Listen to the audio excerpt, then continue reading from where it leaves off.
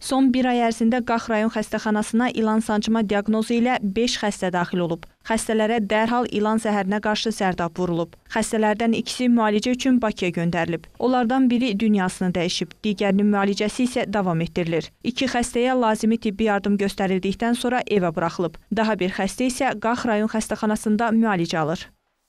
O çalarkən elə xəlbətcə bir anında gördüm ki, quyruq vurub. Elə bildim ki, daha quyruq vurulub bir də. evə gəldim, gördüm ki, pisləşirəm, baxdım gördüm ki, diş batırıb.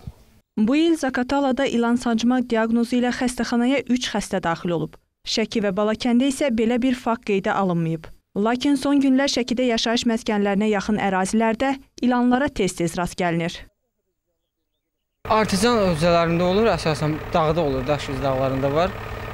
Bəli, rast düşürük. Şəkidə ilan sancımı ilə bağlı xəstəxanaya müraciət edən olmasa da, bu arxayınçılığa əsas vermir. Belə ki, Şəki Mərkəzi rayon xəstəxanasında ilan sancmaya qarşı zərdab və digər zəruri ləvazimatlar tədarik olunub. Hal-hazırda zərdabımız da var. O günü Oğuzdan gələn xəstəyə ehtiyac olsa vuracaqdik, amma ehtiyac olmadığına görə vurmadıq. İlan sancma zamanı ilkin tibbi yardıma gəlincə isə İlk tibbi yardım kimi o ilan vuran yeri boğmaq, heç cırtlamaq lazım deyil. Birinci növbədə xəstəni sakit vəziyyətdə yatdırmalı. İlan vuran yeri mobilizasiya olunmalıdır, nə, e, bağlanmalıdır. Bir sözlə, ilk növbədə ehtiyatlı olmaq, ilan sancma baş verdikdə isə vaxt itirmədən həkimə müraciət etmək lazımdır. Gülşən Aslanova, Xələf Xələfov, Fərid Rafiqoğlu, Mübariz Məmmədov, Şəki, Qax.